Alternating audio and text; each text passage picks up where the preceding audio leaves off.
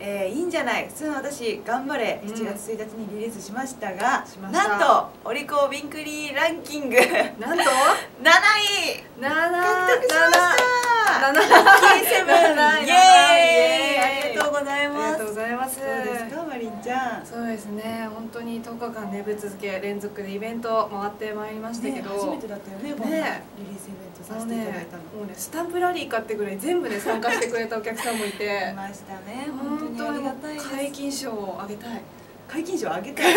ぜひもらってくださいという感じですけれども。本当にねそういう人たちのお力添えもありまして、ね一日三公演とかもあった日も、そうそうそうそう。次も見るよって言ってくれたり、ね初めて見たけど本当に楽しかったって言ってくださるお客さんがたくさんいて本当に嬉しかったです。ね本当に私たちの力だけじゃね7位を獲得できなかったと思うので、うん。本当にたくさんの方に支えられてここまで来れたと思います。本当にありがとうございます。ありがとうございます。ねツアーのリハーサルも真っ最中ですけれども、えーツアーに向けてどうですか？